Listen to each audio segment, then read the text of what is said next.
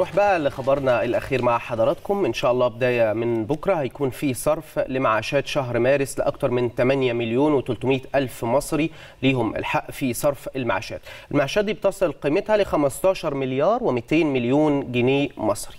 وزيرة التضامن الاجتماعي دكتور نيفين القباج أعلنت أنه تم اتخاذ كافة الاستعدادات اللازمة لتيسير عمليات صرف المعاشات وتشكيل غرف عمليات مركزية لضمان انتظام الصرف في كافة المنافذ والعمل على تسهيل أي عقبات ممكن تواجه أي مواطن من أصحاب المعاشات. دي خطوة مهمة جدا أن إحنا بنسهل على أصحاب المعاشات صحيح. وكبار السن.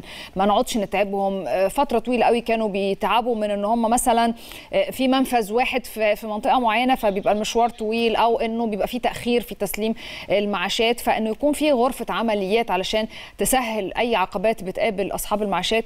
أعتقد دي أهم خطوة يعني. لا وكمان فكرة الفيزا الإلكترونية دلوقتي أصبح الناس كمان صحيح. بتروح يعني تصرف المعاش بشكل فوري بشكل مباشر حتى بدون ما, ما يتم خصم الا إذا طبعا لجأتوا لبنوك أخرى يعني ما عدا ال- ال- ال- اللي هي ال- ال- الصرافات الآلية اللي تابعة لهيئة التأمينات وال- والمعاشات دي بتسهل كتير جدا. النهارده الدولة بتقول المواطنين المصريين إحنا ملتزمين. كل شهر وحضراتكم بخير ويا رب دايما مصر وكل حضراتكم يا رب أيامكم خير وسعادة بإذن الله.